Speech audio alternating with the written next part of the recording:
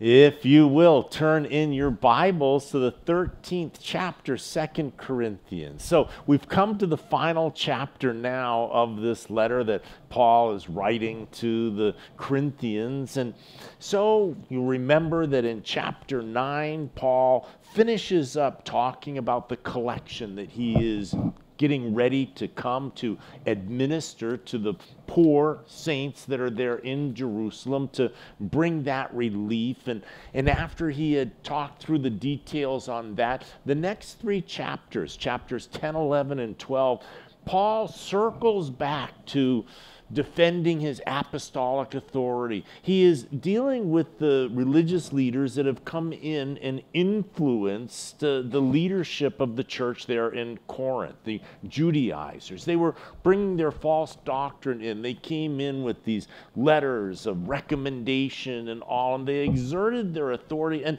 the religious leaders started to listen to them. And so Paul is now contending with this force, with this group. You remember he sends Titus ahead of himself to go and to talk to them there in the church and to get everything reconciled. And he comes back and tells Paul that Paul, the religious leaders in the church, they're with you. They're, they're listening to you, and, and the relationship is good. So now Paul is instructing them that you have to deal with these false teachers that are in the church. This is the responsibility of church leadership. And so he says basically, if you don't deal with it before I get there, I'm going to have to deal with it when I get there. But we see these three chapters where Paul is having to equip them really to be able to contend with these false leaders. And in that, he compares himself to them, pulls out his resume, goes through these things that he says, This is foolishness, but if I have to do this to help you deal with the problem in the church, then I'm willing to do it. You saw the hurt in Paul's heart the more that I love you, the less that I am loved uh, by you. But Paul was not going to be deterred by the difficulty in their relationship. He was going to continue to press on. Love always initiates. Love always initiates a reconciliation. Love always is initiating love, relationship. And so Paul was not going to quit on them, though he was wounded and hurt by this whole exercise. As we come to this final chapter, though, Paul now is going to wrap it up, and he's excited about coming to see them, about now being able to take the church after it has gone through this difficulty, move it forwards. Let's let's get going, church. Let's go. And so that's Paul's, you know, looking forward to his visit. He's going to close it with some amazing exhortations. Paul typically, when he closes a letter, will will then finish with a burst of these one sentence exhortations to the church, and then he'll close it with a, a benediction. And so, this final chapter, let's jump into it as Paul is looking forward to his visit there in Corinth, working through the final details of his visit. Verse 1 This will be the third time I am coming to you. And by the mouth of two or three witnesses, every word shall be established. So Paul came in Acts chapter 18, we saw the, the visit that he made, that he founded the church. Paul spent a year and a half building this church year and a half pouring into the leadership before he departs. And, and then on his third missionary trip, he was in Ephesus looking forwards to coming over to them. And this is when the, all of the divisions started. And Paul has to make this second visit over, this quick trip over. It's known as the severe visit that Paul makes to try and get everything righted and departs. And now he has traveled up through Macedonia and is going to drop down to visit them for this third time.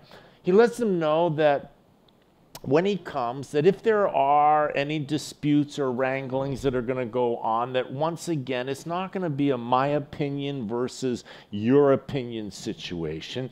By the mouth of two or three witnesses, every word shall be established. And so, accusations are going to have to be verified. There has to be witnesses. Rumors and innuendos and gossip are not to be dealt with, but rather that they are to be dismissed.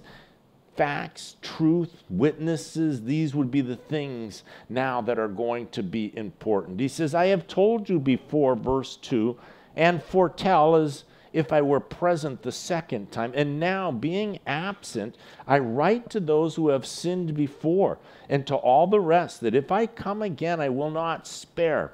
So there were two issues that the leadership, he's reminding as he's kind of wrapping up and summarizing, there's two issues that the church there in Corinth needs to get on top of, and Paul wants them to deal with it before he gets there. Number one are the false religious leaders, the influence, and the Judaizers. So Paul wants them to deal with that. The second issue that he wants them to contend with was that sexual immorality that was going on within the church. And that needs to be finished and it needs to be completed. And so the church discipline with this individual and now the aspect of the moral condition of the church. He says that if it's not dealt with, he says, then when I come again, I will deal with it and I will not spare. And so Paul here is warning that you, that word means to, to spare in battle. Paul is declaring that he is not unwilling to use his apostolic authority if he needs be. He says in verse 3 Since you seek a proof of Christ speaking in me, who is not weak toward you, but mighty in you. Paul here begins by quoting their request. He, he is saying that they are asking him, since you seek a proof of Christ speaking in me. So Paul is declaring that if you want to see that side of me, you'll remember what the criticism of Paul was. And that is, Look at how timid he is in person. Look at how weak he is when he's actually with us. Oh, he writes these harsh letters, but in person, he doesn't back that up. And so Paul says, if you want to see me back that up with my apostolic authority, I absolutely can. They were confusing meekness and weakness. And so Paul is going to again make an, uh, an illustration of the meekness of Jesus Christ and the meekness of Christ is never, ever to be confused with weakness. And so Paul says in verse 4 For though he was crucified in weakness, yet he lives by the power of God. For we also are weak in him, but we shall live with him by the power of God towards you. And so meekness is strength underneath self control. It has all strength, but it is not exercising it, it is not using it. Weakness is an inability to act. Meekness is self control, not acting by choice. And so when Jesus Christ went to the cross, he humbled himself. He allowed his own creation to crucify him. He allowed those soldiers to pull his beard, to put a bag over his head. He could have, in a moment, spoke them out of existence. He had all authority, all power, and yet in his humility, he suffered as a lamb before its shearers. He uttered not a word. Think of the self control, the restraint that he had to have exercised, to have allowed himself to endure such suffering, knowing that he could have delivered himself from that suffering in a second. But yet, love is what compelled him to continue. And Paul would suffer long with them because he loves them, not because he's not able to act, but he's being kind and merciful and gentle. God also is kind, merciful, and gentle in our lives. And he is long suffering towards us while we are yet sinning. He's still loving us. And so, Paul now showing them that his meekness is not weakness, it's an attribute of Christ. And so, verse 5, he says to examine yourselves as to whether you are in the faith and test yourselves. And so, Paul now speaking to them about their own spiritual immaturity. Remember that the church there in Corinth, they are carnal, they are young, they are fleshly, they are worldly. They're saved, but they are not exhibiting spiritual growth and spiritual maturity. You'll remember in the first letter that he writes to them, he says, I would love to, to take and pull apart some meat with you. He says, but you still, you're like babes. You still need milk uh, instead of being able to take you into the deeper subjects. And so Paul asks them now to examine themselves as to whether or not they're in the faith. He's not asking them if they're saved. He's asking them if they are walking in the Spirit, if they are now conducting themselves as Christians. There's a big difference between Jesus Christ being your Savior and Jesus Christ being your Lord. Many people will accept Jesus as their Savior. He's the I get to go to heaven card. He's the I get out of prison, I get out of hell card. And, and so I'm saved. And then they go and live their life any way they want, believing now that they are not going to hell because Jesus is their Savior. But is Jesus your Lord? It's not about whether or not he's your Savior. Do you have a relationship with him? If you have a relationship with him, then in fact he is your Savior. But he is Lord or he is not. And so Paul is asking them is, is Jesus Christ your Lord? Are you listening to him? Is he leading you? Is he guiding you? Examine yourselves, test yourselves, know this truth about you. And I think that it's a great call for each and every one of us to examine our relationship with Jesus Christ. When he says to examine yourself uh, here, that word, first of all, has a, a, a scholastic application to it in school you will have teachers and they're communicating information and then they stop and check to see have you learned that information now? Have you do have a mastery of the material that we have been working on? And so it's an evaluation.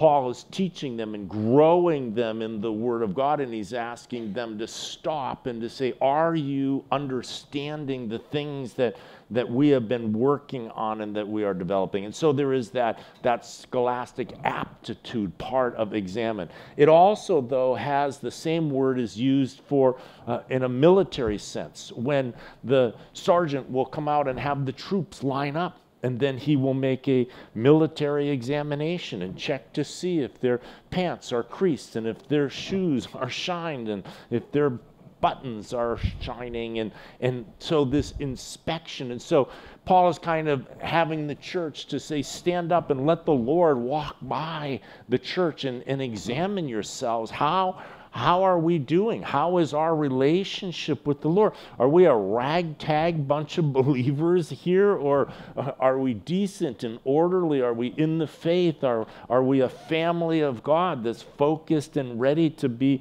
contesting against the evil that is present around us? And so examine yourselves. And, and also, there is that legal sense, that same word is used to cross examine somebody, an attorney, when they are a witness in a trial, will come and ask them questions to cross examine and to see how solid they are in their, in their testimony. And so, how solid are we in our understanding of our faith and in our testimony? And so, Paul is asking them to examine themselves because it's a matter of high importance. Where do you stand with the Lord?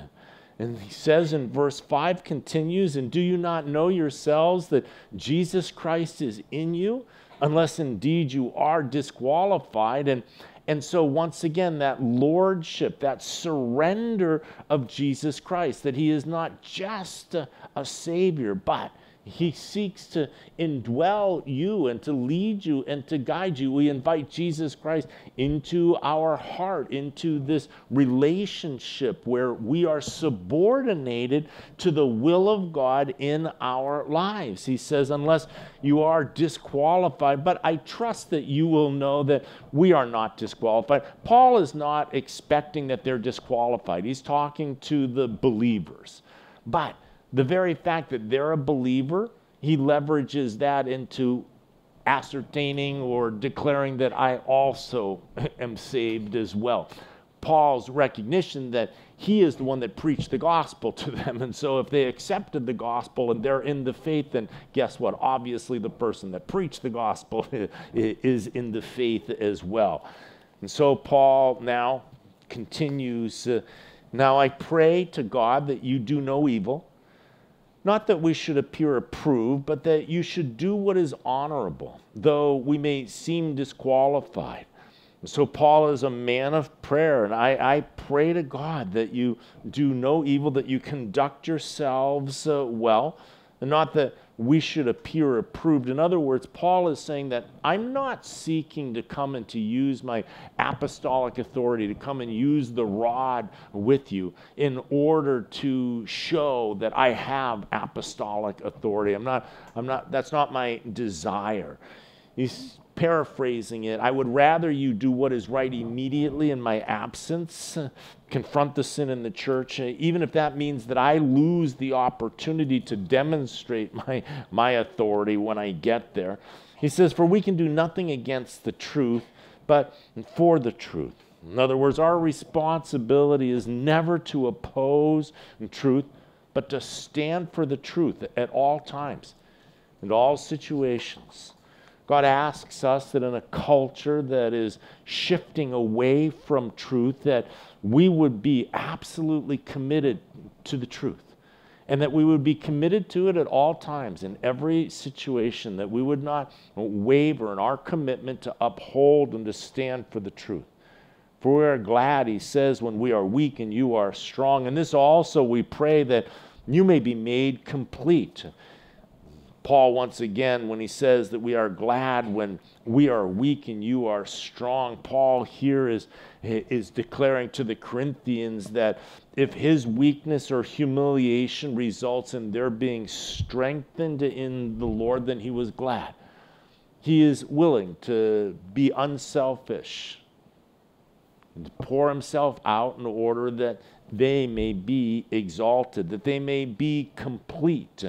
And that word for complete uh, doesn't mean a sinless perfection, but it means spiritual maturity, that you would come to the place of spiritual maturity. It means a wholeness, it means a solidness. God's desire for you is that you would be solid in your faith, that you would be complete in your faith. We all begin as spiritual babies. When you accepted Jesus Christ, you are a spiritual infant and then you begin to grow in the grace and the knowledge of our Lord and Savior. The Spirit begins to mature you, and you're able now to continue on to spiritual health, spiritual completeness.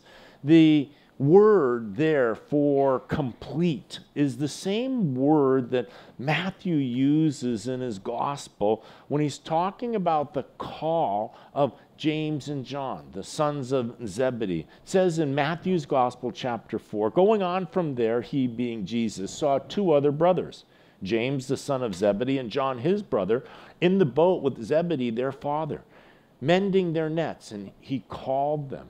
That word for mending the nets means completing the nets.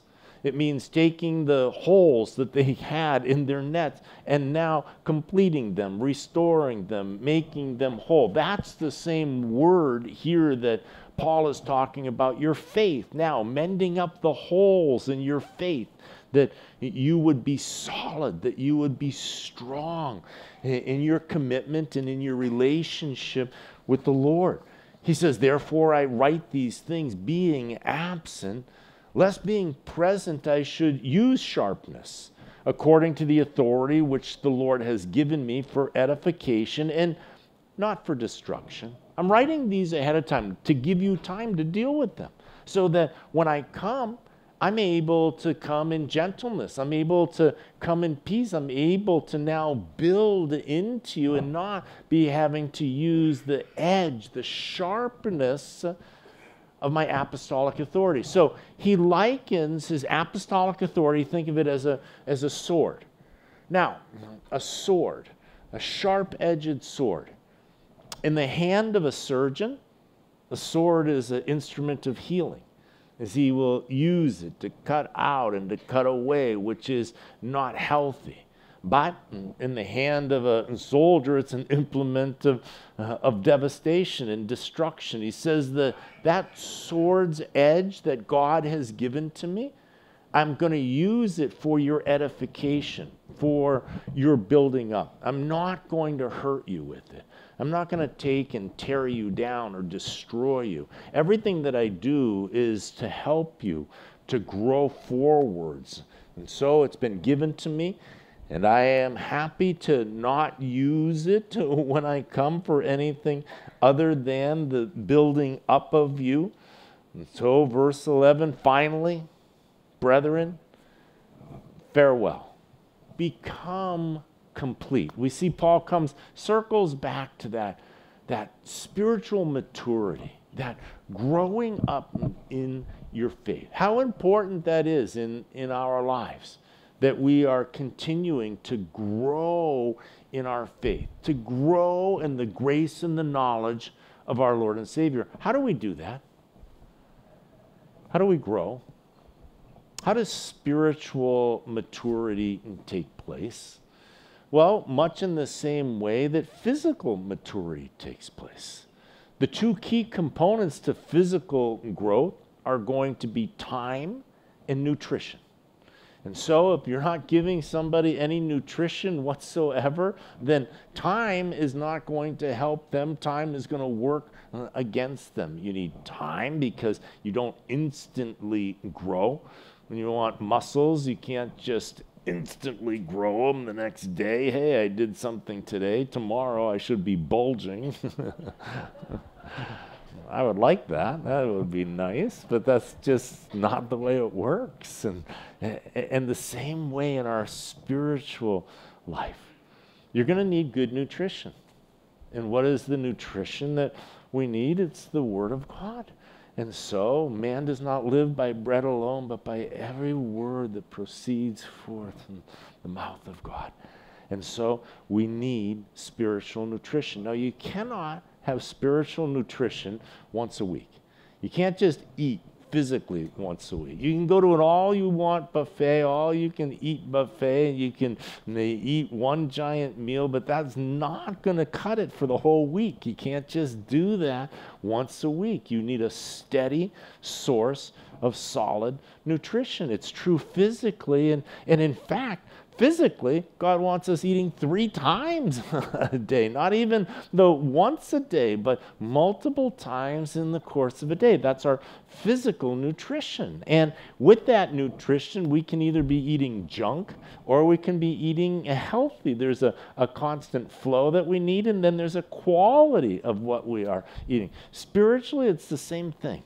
You can be reading fluff and just, you know, looking at different things and spiritual quips and TikToks and those kinds of things, uh, or the Word of God. The Word of God. And so the relationship that we have to the nutrition of the Word of God. Transform your, your mind through the renewing uh, of your mind through the Word of God.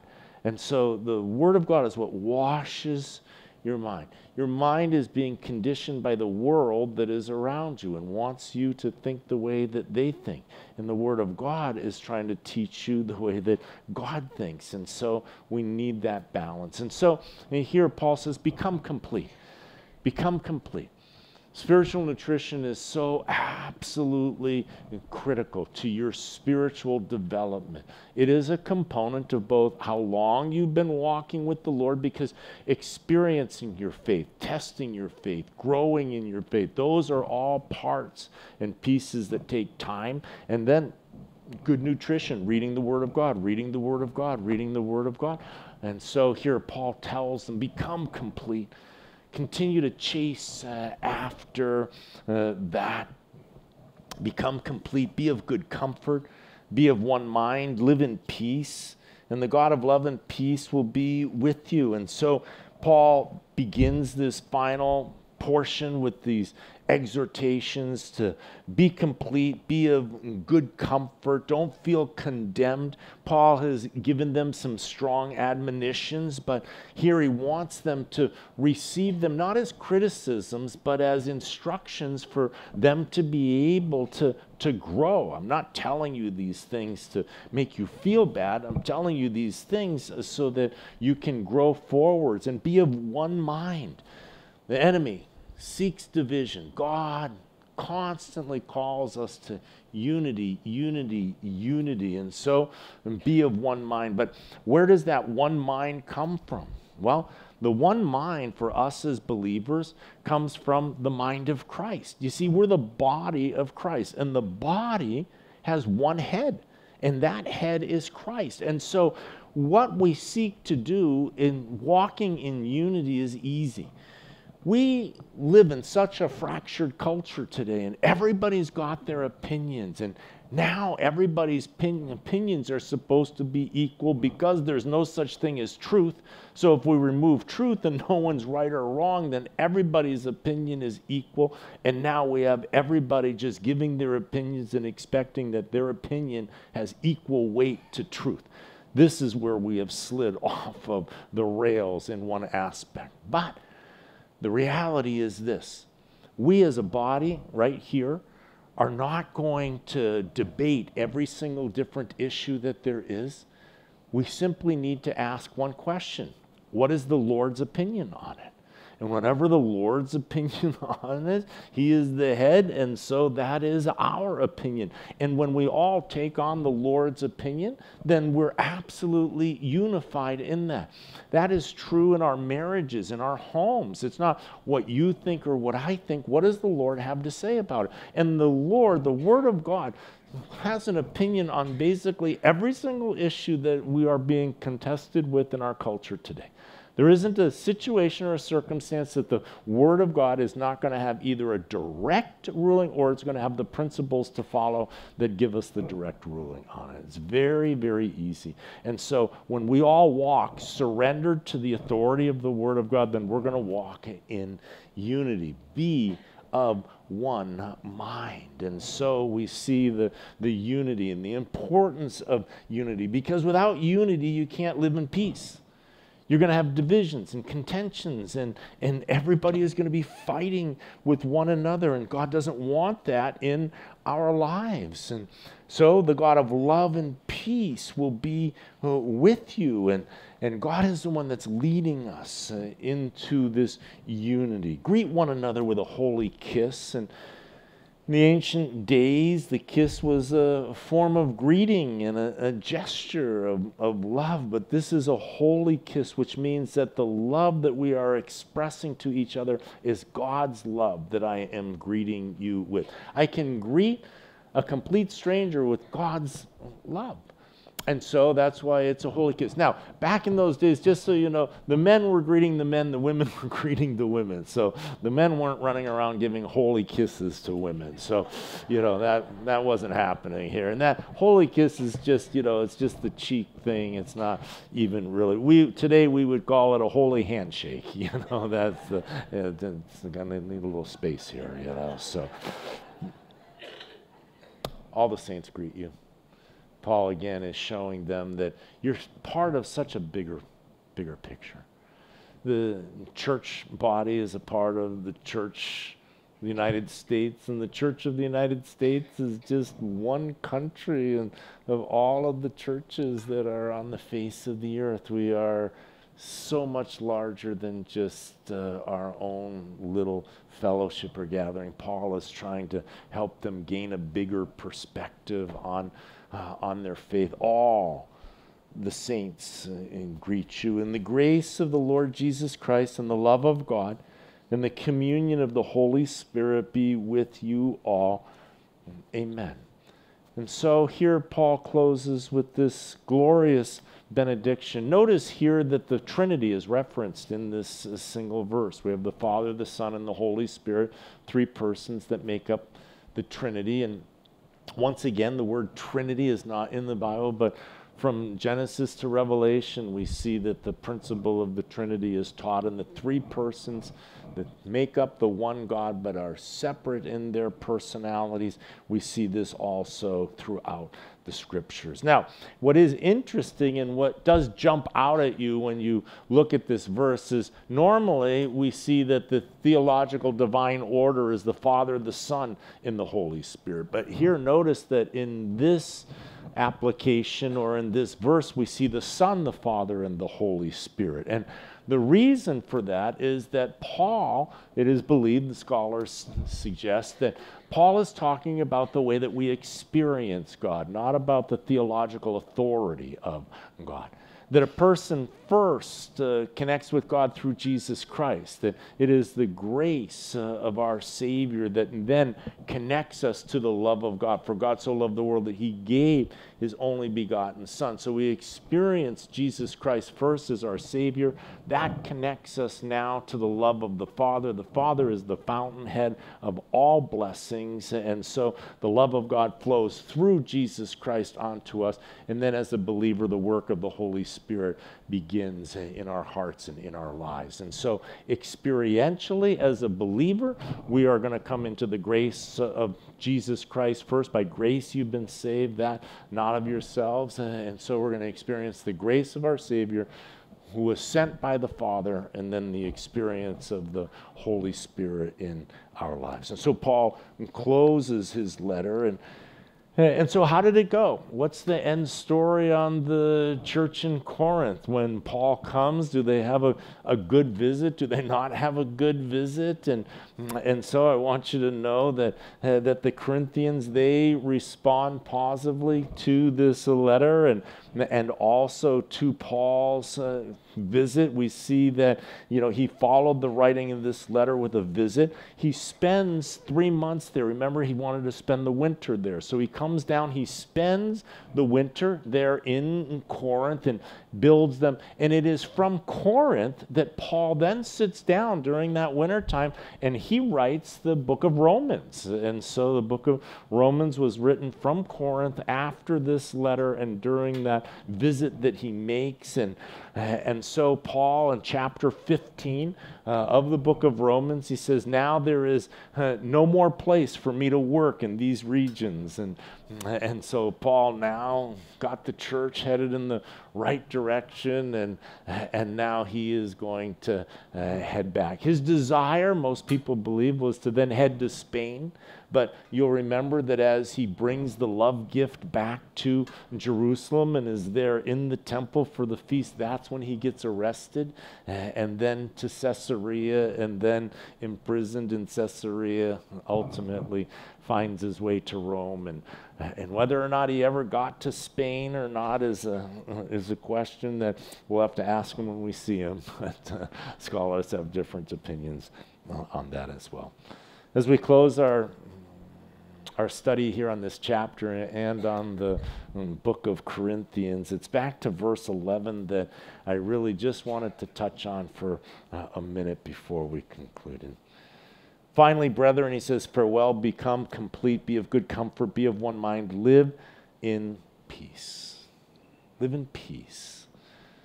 And the God of love and peace will be with you. That, that is the, the quality of life that God desires for us peace. That your heart would be at peace. That your life would be at peace. And it begins first with that peace with God. The knowledge that our sins are forgiven and washed away and removed, and as far as the east is from the west, that they have been contended with, and, and that now you don't have to be afraid of standing before God.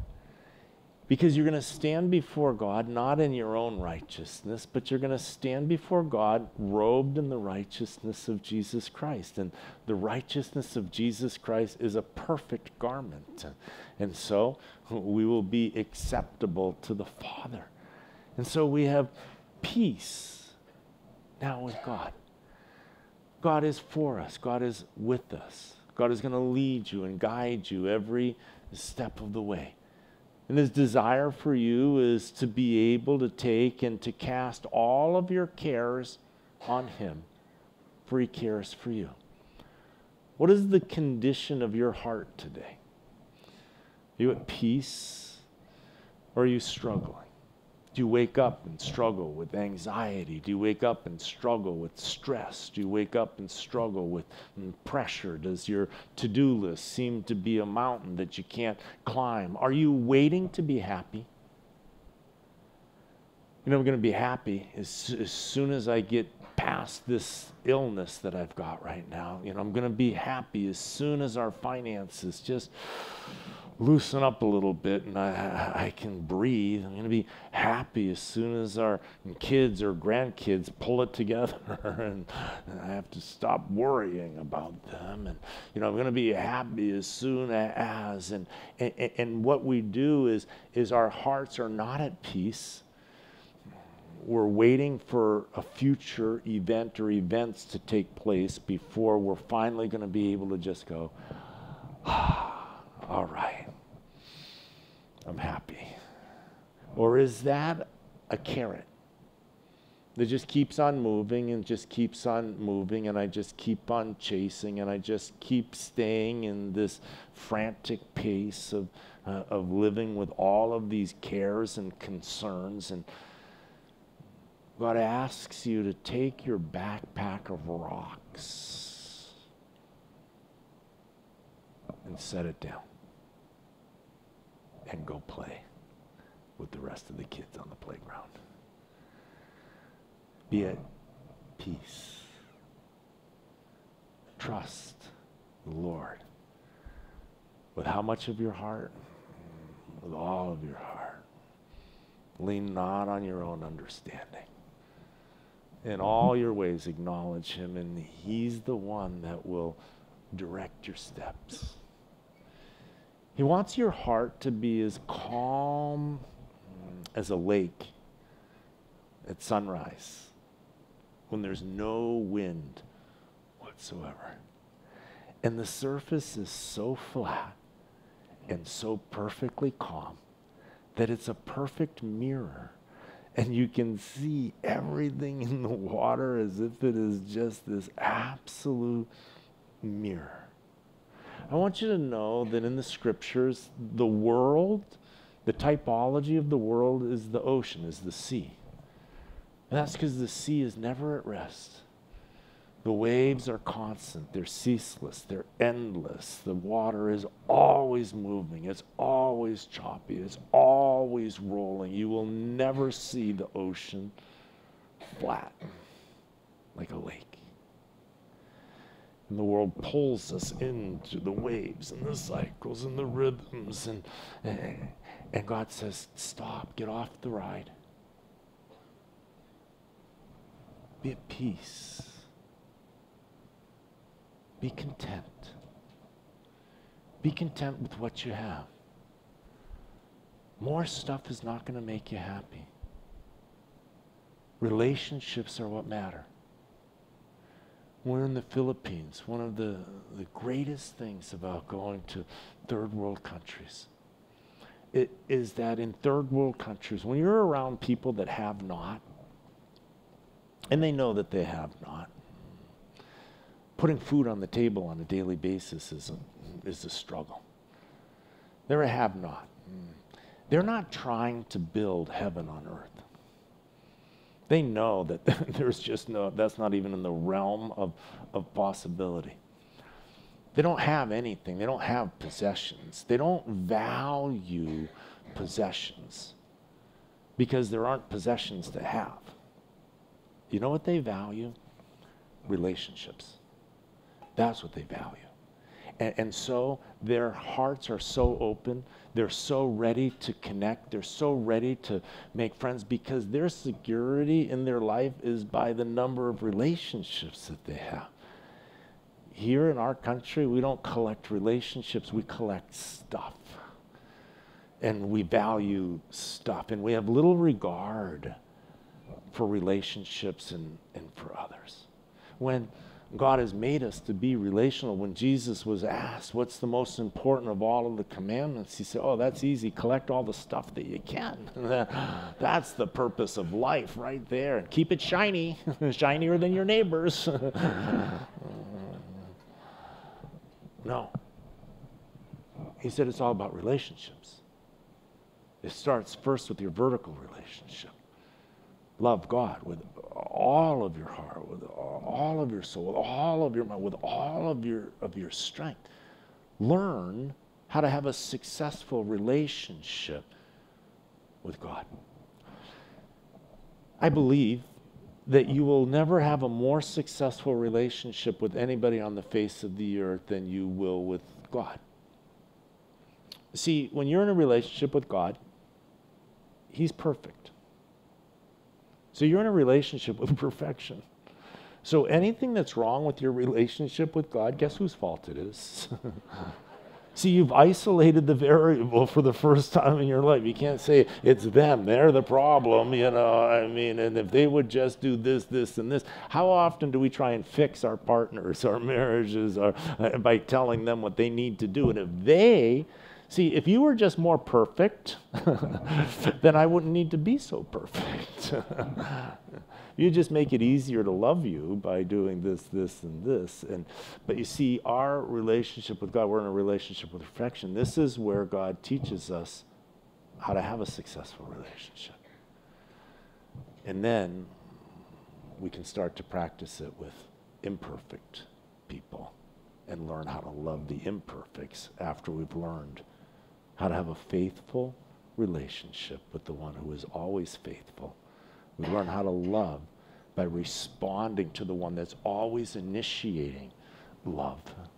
We learn how to grow our heart, our capacity, our trust, all of these things with the one that guarantees that he's for us and will never hurt us and harm us. And though he will allow us to go through things that we can't understand, he promises us, just trust me, I will work it together for good in, in your life, in your heart. So let's go. You're not alone. I don't want you to figure things out for yourself. I'll help you with every single one of your problems, with every single bit of your confusion. Now, can you be at peace? For the first time in your life, can you just